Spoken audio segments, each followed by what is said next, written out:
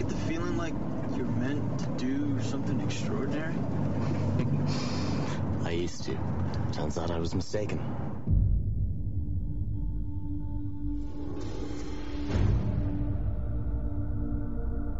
Just gonna round us all up, get rid of us?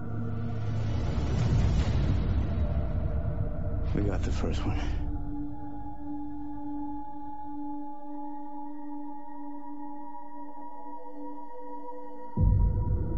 The new season of Heroes begins the Monday after the Super Bowl on NBC.